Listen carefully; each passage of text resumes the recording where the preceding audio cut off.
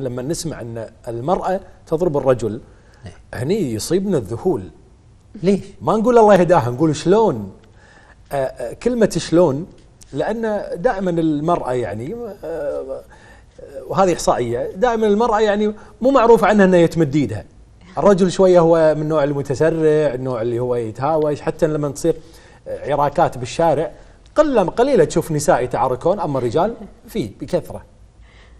أنا عندي رد بس ممكن أكون نمط تفكير الرجل أو إيه. ما أدري. لا أنا أعتقد أن المرأة في الحياة الزوجية أكثر رقيا من الرجل. مم.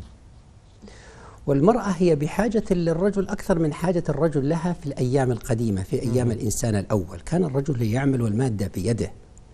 فهذا صنع المرأة أنها أكثر قدرة على التحمل. لما تطورت المجتمعات وأصبحت المرأة لها دخلها المستقل لم تتمرد على الرجل إنما تمردت على الرجل النذل. وتحترم الرجل الراقي. ولذلك الأنظمة اللي بدأت بالخليج تظهر إجمالا هي تحترم الرجل الراقي وتحترم الأب الراقي. أما الأب المستغل والزوج الغير راقي فإنها تلجمه إلجاما. أي امرأة متزوجة من رجل راقي تريد أن تستمر معه. لكن إذا كان غير راقي يا أخي لا جمال للحياة معه. أب غير محترم تماما له حق البر. أتدري أن بر الوالدين لا يشترط الحب للوالدين إنما يشترط الإحسان.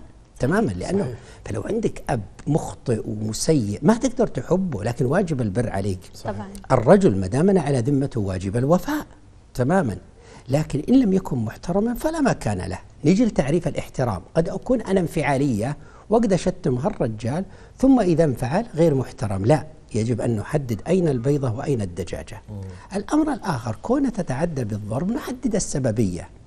هل هي من المرأة أو ردة فعل على الرجل؟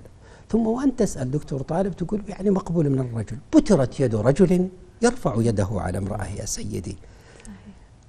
في الحديث عن هي مو مقبولة دكتور عشان لا يفهم كلامي خطأ. هي لما تسمع بهذا الخبر تقول الله يهداه صراحة في ريال عليه على مرأة بس. لكن لما يقول لك امرأة مدت آه، يدها على ريال تستغرب شلون تبي جواب مختصر؟